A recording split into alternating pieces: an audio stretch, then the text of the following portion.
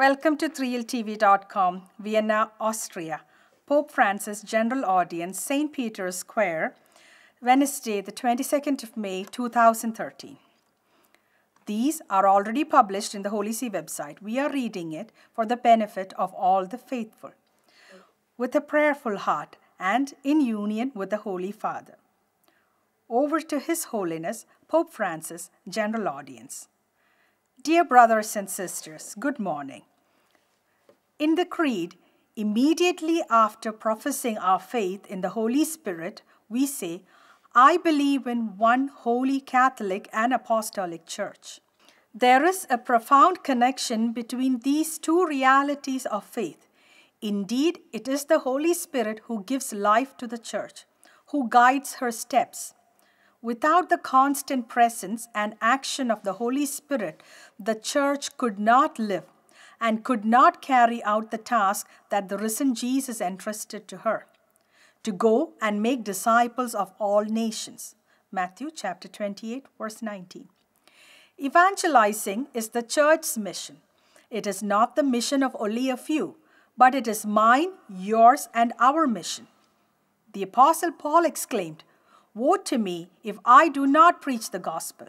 1 Corinthians chapter 9 verse 16. We must all be evangelizers, especially with our life. Paul VI stressed that evangelizing is the grace and vocation proper to the church, her deepest identity. She exists in order to evangelize.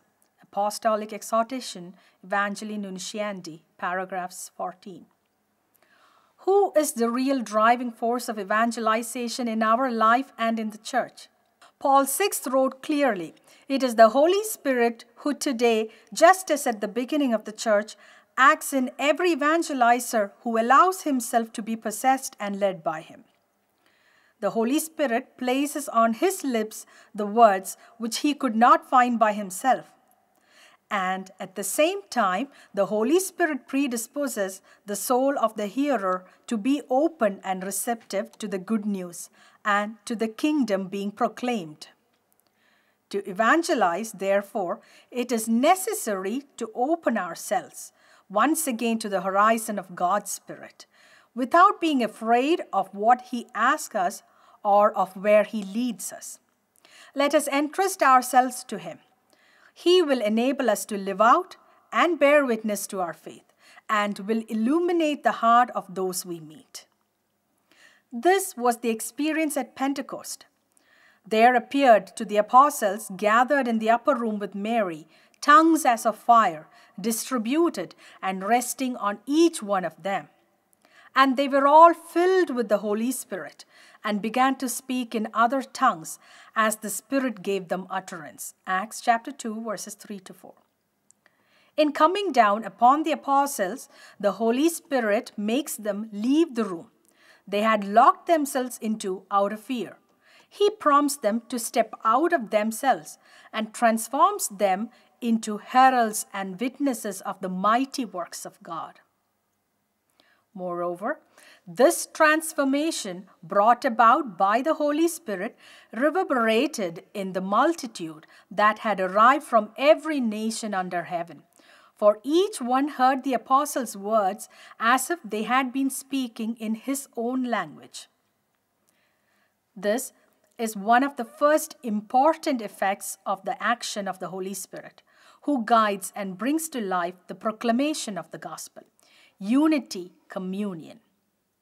It was in Babel, according to the biblical account, that the dispersion of people and the confusion of languages had begun. The results of the act of pride and conceit of man, who wanted to build with his efforts alone without God a city and a tower with its top in the heavens. Genesis chapter 11, verse 4. At Pentecost, these divisions were overcome. There was no longer conceit with regard to God nor the closure of some people to others. Instead, there was openness to God. There was going out to proclaim His word, a new language, that of love, which the Holy Spirit pours out into our hearts. Romans chapter 5, verse 5.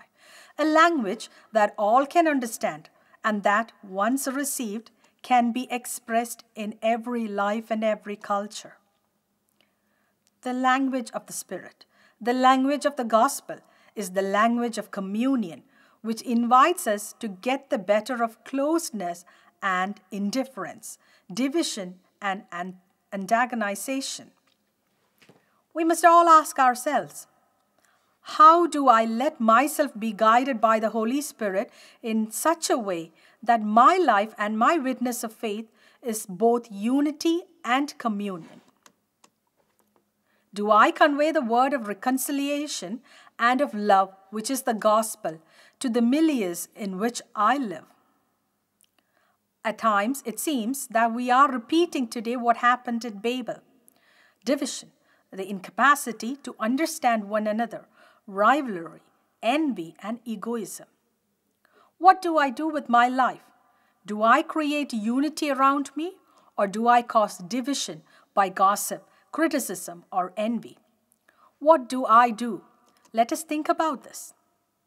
Spreading the gospel means that we are the first to proclaim and live the reconciliation, forgiveness, peace, unity, and love which the Holy Spirit gives us. Our Lady of Sheshan support the commitment of all those in China who among their daily labors continue to believe, to hope, and to love, so that they may never be afraid to talk to the world about Jesus and about the world to Jesus. Mary, faithful virgin, sustain Chinese Catholics, make, it, make their challenging task ever more precious in the eyes of the Lord, and give growth to the affection and participation of the Church, which is in China, on the journey of their universal Church.